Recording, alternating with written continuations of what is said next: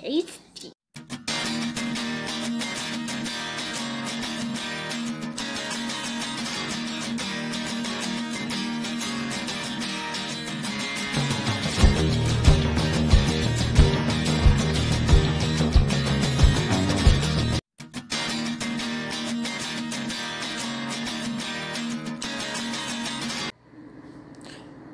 എല്ലാവർക്കും നമസ്കാരം ഇന്ന് നമ്മൾ ഒരു പക്കോടയാണ് ഉണ്ടാക്കി എടുക്കാൻ പോണത്. പക്കോട എല്ലാവരും കഴിച്ചിട്ടുണ്ടാവില്ലേ?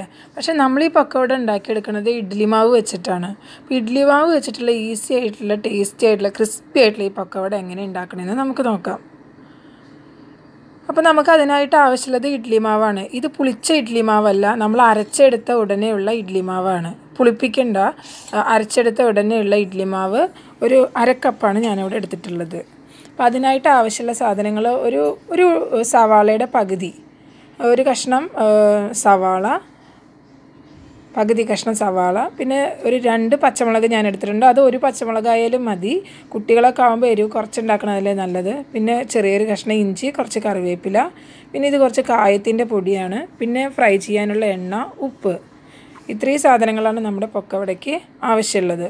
അപ്പോൾ നമുക്ക് ആദ്യം ഉള്ളി ഇഞ്ചി പച്ചമുളക് കറിവേപ്പില ഒക്കെ ഫൈനായിട്ട് ഒന്ന് മുറിച്ചെടുക്കാം. നല്ല ചെറുതായിട്ട് മുറിച്ചെടുക്കാം. ചെറുതായി മുറിച്ചെടുത്തിട്ടുള്ള ഇതെല്ലാം നമുക്ക് ആ മാവിലേക്ക് ചേർത്ത് നന്നായി മിക്സ് ചെയ്ത് കൊടുക്കാം. നമ്മൾ ചെറുതായി മുറിച്ച സവാളയും ഇഞ്ചിയും പച്ചമുളകും കറിവേപ്പിലയും മാവിലേക്ക് ചേർത്ത് കൊടുത്തു കഴിഞ്ഞു. ആ പാത്രത്തിൽ കുറച്ചുകൂടി ബാക്കി ഉണ്ടായിരുന്നു കേട്ടോ അതൊക്കെയാണ് ഞാനിപ്പോൾ എടുത്തിട്ടുകൊണ്ടിരിക്കണേ ഇനി നമുക്കിതിലേക്ക് ആവശ്യമുള്ളത് കുറച്ച് ഉപ്പാണ്. ഞാൻ ഇഡ്ഡലി മാവിൽ നേരത്തെ ഉപ്പിട്ടിട്ടുണ്ടായിരുന്നു. അപ്പോൾ അതുകൊണ്ട് ഇപ്പോൾ ഞാൻ അധികം ഉപ്പിടണില്ല. നിങ്ങൾ പാകത്തിനുള്ള ഉപ്പിട്ട് കൊടുക്കുക. അപ്പോൾ ആവശ്യത്തിനുള്ള ഉപ്പ് നമ്മളിതിലേക്ക് ചേർത്ത് കൊടുത്തു കഴിഞ്ഞു.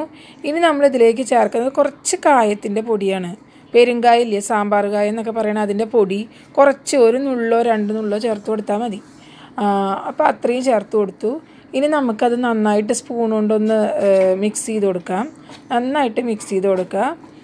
ഉപ്പൊന്നും എവിടെയും കട്ട പിടിച്ച് കിടക്കരുത്. അപ്പോൾ നന്നായിട്ട് ഇളക്കി മിക്സ് ചെയ്തെടുക്കാം നമുക്ക് ഈ ഒരു കൂട്ട്. അപ്പോൾ നമ്മുടെ ഈ മിക്സ്ചർ റെഡി ആയിട്ടുണ്ട് ഏകദേശം. ഇനി നമുക്കൊരു ചീനച്ചട്ടിയോ അല്ലെങ്കിൽ ഒരു കടായോ എന്തെങ്കിലും വെച്ചിട്ട് നമുക്കൊന്ന് ചൂടാക്കി എടുക്കാം ചൂടായ പാത്രത്തിലേക്ക് നമ്മൾ കുറച്ച് എണ്ണ ഒഴിച്ചു കൊടുക്കണം. ഞാനിവിടെ സൺഫ്ലവർ ഓയിലാണ് യൂസ് ചെയ്യണത്. നിങ്ങൾക്ക് വേണമെങ്കിൽ വെളിച്ചെണ്ണയിലോ സൺഫ്ലവർ ഓയിലിലോ അല്ലെങ്കിൽ റിഫൈൻഡ് ഓയിലിലോ ഏത് ഓയിൽ വേണമെങ്കിലും യൂസ് ചെയ്യാം കേട്ടോ. ഫ്രൈ ചെയ്തെടുക്കാനായിട്ട്. അപ്പോൾ എന്തായാലും ഫ്രൈ ചെയ്യാൻ ആവശ്യമായിട്ടുള്ള എണ്ണ ഞാനിതിലേക്ക് ഒഴിച്ചു കഴിഞ്ഞു. ഇനി എണ്ണ നന്നായിട്ടൊന്ന് ചൂടായി വരട്ടെ.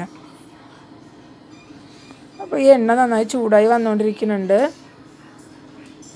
ഇനി നമുക്ക് നമ്മുടെ ആ മിക്സ് ഒരു സ്പൂണും ഏഹ്, കുറച്ച് കുറച്ചായിട്ട് ഇതിലേക്ക് ഇട്ടിട്ട് നമ്മുടെ പക്കവടയുടെ ആ ഒരു ഷേപ്പിൽ നമുക്ക് ഉണ്ടാക്കിയെടുക്കാം.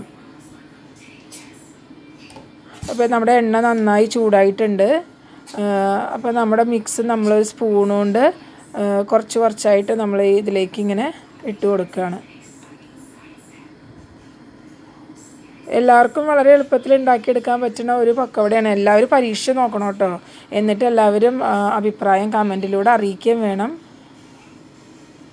നാല് മണിക്കൊക്കെ നമ്മൾ ഇഡ്ഡലിക്കൊക്കെ മാവരയ്ക്കുന്ന ഒരു ടൈമല്ലേ അപ്പോൾ ആ ടൈമിൽ തന്നെ നമുക്കൊരു നാല് മണി പലഹാരം കൂടി തയ്യാറാക്കി എടുക്കാൻ പറ്റും. അപ്പോൾ നമ്മുടെ എണ്ണ ചൂടായിട്ടുണ്ട്. ഇനി നമ്മൾ കുറച്ച് കുറച്ച് മാവ് ഇങ്ങനെ എണ്ണയിലേക്ക് ഇതുപോലെ ഒഴിച്ചു കൊടുക്കുക സ്പൂൺ കൊണ്ട്. അപ്പോൾ നമുക്ക് നമ്മുടെ പക്കവട കുറച്ച് കുറച്ചായിട്ട് ഉണ്ടാക്കിയെടുക്കാം ഇത് നല്ലൊരു ഗോൾഡൻ ബ്രൗൺ ആവണത് വരേക്ക് നമുക്ക് ഫ്രൈ ചെയ്തെടുക്കാം കേട്ടോ അപ്പം അപ്പോഴാണ് ആ ഒരു ഗോൾഡൻ ബ്രൗൺ ആകുമ്പോഴാണ് നല്ല ടേസ്റ്റും അതുപോലെ തന്നെ നല്ല ക്രിസ്പി ആയിട്ടിരിക്കുള്ളൂ.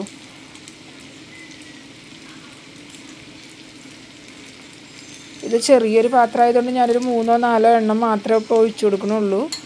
ഇട്ട് കൊടുക്കണുള്ളൂ. വലിയ പാത്രമാണെങ്കിൽ നിങ്ങൾക്ക് കൂടുതലായിട്ട് ഉണ്ടാക്കിയെടുക്കാം. പിന്നെ പരസ്പരം ഒട്ടിപ്പിടിക്കാതെ നോക്കുക.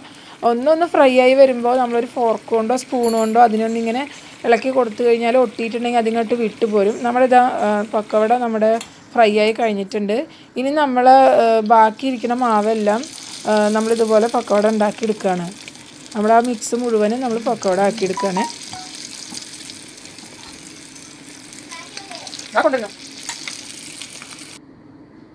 അപ്പോൾ നമ്മുടെ പക്കവട റെഡി ആയിട്ടുണ്ട്. ഇത് നമുക്ക് ടൊമാറ്റോ സോസിന്റെ കൂടെയോ അല്ലെങ്കിൽ നമ്മുടെ വെള്ള ചട്നിയിലെ നമ്മൾ ഇഡ്ഡലിക്കും ദോശയ്ക്കൊക്കെ ഉണ്ടാക്കുന്ന ആ ചട്നിയുടെ കൂടെയൊക്കെ കഴിക്കാനായിട്ട് ടേ നല്ല ടേസ്റ്റ് ആയിരിക്കും. അപ്പോൾ എല്ലാവരും പരീക്ഷിച്ച് നോക്കണം. എന്നിട്ട് ഇഷ്ടപ്പെട്ടിട്ടുണ്ടെങ്കിൽ കമന്റിലൂടെ അറിയിക്കണം. അപ്പോൾ ഇനി നമുക്ക് വേറൊരു റെസിപ്പി ആയിട്ട് മറ്റൊരു വീഡിയോയിൽ കാണാം. എല്ലാവർക്കും നല്ല ഒരു ദിവസം നേരുന്നു. Bye bye.